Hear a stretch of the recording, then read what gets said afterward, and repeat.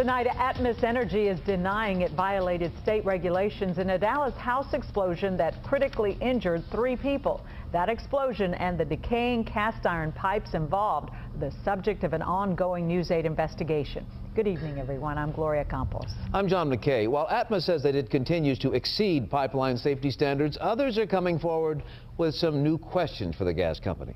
Reporter Brett Shipp has more as News 8 investigates. How safe does this look to you? Uh, any moment it could blow up. Sheikh Tahuti of Dallas wants the public to see this. An old Atmos gas pipeline precariously perched across a ravine on his land 50 feet in the air, anchored by a rusty cable. This is just ridiculous, only if it had a support under the bottom, because everything's dependent on a cable holding tons that don't have any support. The pipeline is located just a few yards from Tahuti's horse stables and the grounds where children ride ponies every week. He's so upset, he's produced a video expressing his terror anytime the creek floods and debris comes crashing up against that pipeline. Atmos has not responded to our questions about the pipe, but it has responded to pipeline regulators at the Texas Railroad Commission about this. I turn on the light, and that's when it just sparked up. The 2011 gas explosion that critically injured Domingo Mendez, his wife, and little boy.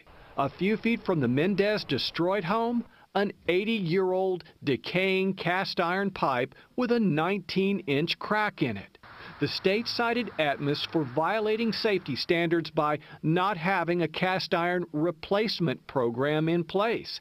Mendez family attorney Clay Miller has sued and settled with Atmos over this very issue. This is absolutely a preventable accident. Uh, the entire industry, including Atmos, has known for decades that these pipes corrode. Atmos's response to the safety violation has just been filed with the state. Quote, natural gas leaking from the gas main did not cause the Mendez explosion. It says a leak behind the kitchen gas range is probably the leak source. And despite the age and condition of the cast iron pipe that was leaking gas prior to the explosion, Atmos contends there was nothing to suggest this segment of pipe needed to be replaced. Atmos says it has replaced 144 miles of cast iron pipe in its Texas system over the past 12 years. Yet 841 miles remains in the ground, most of it in older neighborhoods in Dallas, Fort Worth, and the Park Cities. Atmos says it will continue to survey and monitor its system and replace any segments it feels are unsafe. Tahuti asks, if this is not unsafe, then what is? This is a time bomb in my backyard. Brett Shipp, Channel 8 News.